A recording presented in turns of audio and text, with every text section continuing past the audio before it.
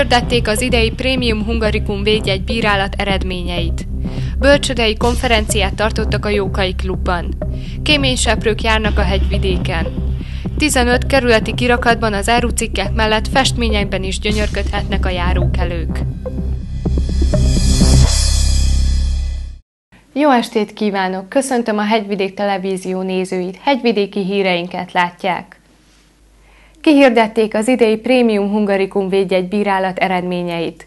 Az eseménynek a Városmajori biopasszásbolt adott helyszínt, ahol Fonti Krisztina alpolgármester adta át a szigorú követelményeknek megfelelő élelmiszergyártóknak a minőséget tanúsító okleveleket. A Városmajor utcai biopasszás bio és reformboltban hirdette ki a Prémium Hungarikum Egyesület az idei védjegy bírálatának eredményeit. A Prémium Hungarikum Egyesület 2004-ben azzal a célral alakult, hogy összefogja és támogassa a Kárpát-medence tradicionális magyar élelmiszereket és az élelmiszeriparhoz kapcsolódó termékeket gyártó vállalkozásait. Kizárólag olyan cégek csatlakozhatnak a kezdeményezéshez, amelyek a magyar gasztronómiai és kulturális hagyományokban gyökerezve egyedülálló minőséget állítanak elő, vagy olyan újonnan kifejlesztett árucikket, amely méltó módon képviseli hazánkat a külpiacokon. Csak ajánlással és szigorú elbírálást követően vesznek fel új tagokat, mondta el Szommer Gábor, az Egyesület elnökségi tagja. Az Egyesület 2004-ben alakult, az alapítunk Hábencius Péter volt, akinek a testvére mai napig is tiszteletbeli tagunk.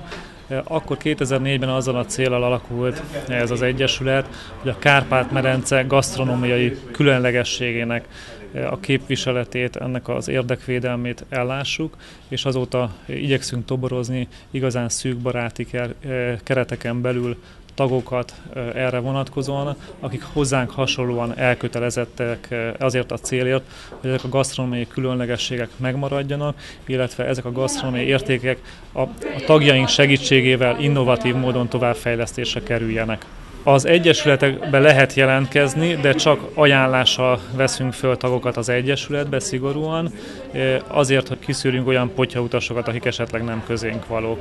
Most az egyesületi tagságunk az már több mint 40 fő, és bizony most már a határon túli tagjaink is vannak, Vajdaságból és Erdélyből is. Gyakorlatilag a, a teljes magyar élelmiszer vertikumot most már felöleljük, mindenfajta típusú termékből vannak tagjaink, van, van ahonnan több is.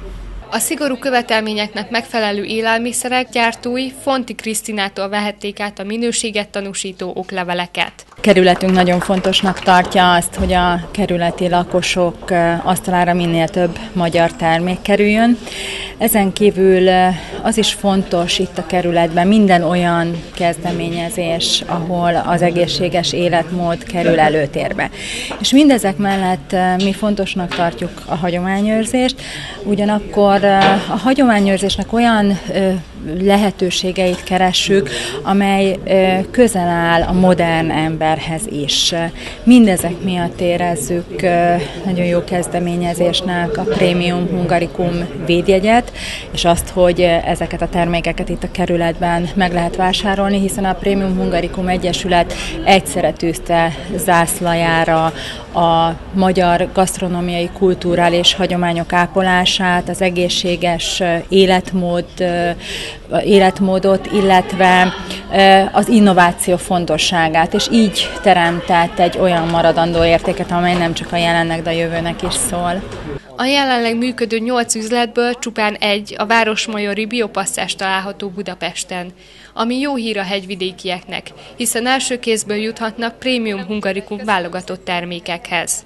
Bölcsödei pedagógusok gyűltek össze a Jókai Klubban október 19-én az ország minden részéből, hogy számot vessenek hivatásuk nehézségeivel, tapasztalatot cseréljenek, és hogy hasznos ötleteket kapjanak további munkájukhoz. Az elsősorban intézményvezetőket vendégüllátó rendezvény résztvevői arra voltak kíváncsiak, hogy milyen jogi, anyagi és mentális segítségre számíthatnak akkor, amikor mind a szakma, mind a környezetválsággal küzd. A rendezvényt Kovács Lajos alpolgármester nyitotta meg. Jelen pillanatban 256 gyermek jár a kerületi bölcsödei ellátásban. Ez nekünk viszonyítva a kerületi gyermeklétszámot egy nagyon nagy szám. Ez a közel 260 gyermek, ez 260 családot is takar. Azt hiszem a korai ellátásnak ez a leglényegesebb pontja, hogy tudunk-e igaz, hogy intézményi szinten, de az egyes gyerek szükségleteihez igazodó, azt figyelembe vevő ellátást biztosítani neki, mert nagyon sok múlik ezen későbbiekben. A magyar bölcsödei ellátórendszer az világszínvonalú. Tehát annyira gyermekközpontúan épült fel, strukturálódott, igazán óriási alapjai vannak, és egy kutatási folyamat során alakult ki ez az ellátórendszer, ahol azt nézték, hogy mire van szüksége a gyereknek, és olyan elvek, módszertani ajánlások és szakmai programok alakultak ki, ami ami ezt úgy bevitte a szakmába, de már nagyon régen. Az anyagi nehézségek ezt a területet sem kímélik meg. Olyan ellátáshoz erőforrást biztosítani, ami közvetlenül és rövid idő alatt nem hoz profitot, manapság nagy kockázatot jelent, vélik sokan. A hegyvidéki önkormányzatnál azonban másként közelítik meg ezt a kérdést. Igen komoly erőpróba, hogy minden évben működtetni tudjuk ezeket az intézményeket. Sajnálatos módon az állami normatív elosztási rendszer tekintetében a bölcsödei ellátás igen alacsonyan finanszírozott.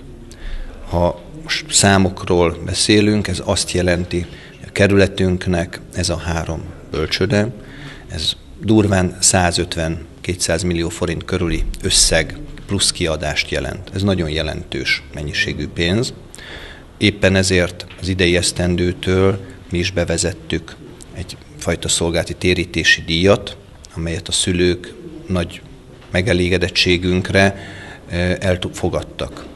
Én úgy gondolom, hogy ez egy nagyon jó visszajelzés, érezzük azt, hogy ők is megértették, hogy ennek a plusz tehernek egy pici részét kell, hogy ők is viseljék, különben képtelen lesz a egyvidéki önkormányzat fenntartani ezt a hatalmas ellátórendszert. Bár egy-egy térség lehetőségei jelentősen különbözhetnek, más feltételekkel számolhat egy alföldi kisfalu és mással a kerületi bölcsöde. A nehézségek minden bizonyal hasonlóak. A közös gondolkodás, a közös beszélgetések segítséget és erőt is adhatnak a továbblépéshez. Azoknak a kollégáknak, azoknak a nevelőknek, akik itt részt vesznek, és hallgatják ezeket az előadásokat, és bízom benne, hogy nem csak hallgatják, hanem aktívan is részt fognak ebben venni. Egyfajta feltöltődést, egyfajta szakmai kitekintést eh, nyújt, amire nagy szükség van, hiszen nagyon nehéz dolog, én úgy gondolom nap mint nap megújulni, a sok pici gyermek mellett, és minden nap valami újat hozni, hogy ne veszítse el sem a nevelő, sem a gyermek a lelkesedését is, mind a ketten jó ízben, jó szívvel boldogan tudjanak jönni egy-egy ilyen közösségbe. És miután egy évben ez közel 250 napot jelent, ez nem egy egyszerű feladat. Én úgy gondolom, ezek a napok ehhez nyújtanak picike kis fogódzót, ötletet és időt arra, hogy egymással tudjanak beszélgetni, apró fortélyokat, tapasztalatokat megosztani. Meggyőződésem, hogy ez hosszú távon nagy mértékben fogja segíteni a bölcsödénk minőségi fejlődését. Itt van az ősz, és lassan a tél is. Megkezdődik a fűtési szezon is. Ezért a következő hetekben a hegyvidéken megkezdik a kémények felülvizsgálatát. Hazánkban évente több százan szenvednek füst vagy szénmonoxid mérgezést. Ezek közül több tucatnyi eset halállal végződik. A következő hetekben végzik a kerületi lakóházak kéményeinek műszaki felülvizsgálatát. A fővárosi kéményseprőipari Kft. munkatársai a kémények és tüzelőberendezések belső állapotának ellenőrzésével a gáz- és füstmérgezéses tragédiák megfékezését szeretnék elérni. Minden évben sajnos előfordulnak olyan tragédiák, hogy füstmérgezés miatt meghalnak emberek. Nem csak kerületben, illetve nem a kerületben, hanem az egész országban sajnos jellemző probléma ez a fűtési szezon beindulásával magával, és ezt megelőzendő törvény írja elő, hogy a kéményeket minden évben ellenőrizni kell. A Kéményseprőipari Kft. munkatársai átvizsgálják, műszakilag ellenőrzik a, a épített kéményeket. Arra szeretnénk felhívni az emberek figyelmét, hogy hogy ez egy nagyon fontos dolog, és a saját egészségük megőrzésének érdekében arra kérjük a kerületben élőket, hogy működjenek együtt, hogy engedjék az ellenőröket dolgozni, illetve nagyon fontos, hogy ha, ha a műszaki ellenőrzés során veszélyesnek ítélik meg a kéményeket, hogy esetleg a szénmonoxid nem tud egyenesen távozni a kéményből, hanem esetleg szivárog, vagy bármi más probléma fennáll, akkor a, a munkatársak, a Kémiseprőipari Kft. munkatársai egy figyelmeztető határozatot adnak a közös képviselőnek társasház esetében, és arra kérjük, a, hogy, hogy működjenek együtt, hogy tegyék meg a szükséges lépéseket ebben az esetben.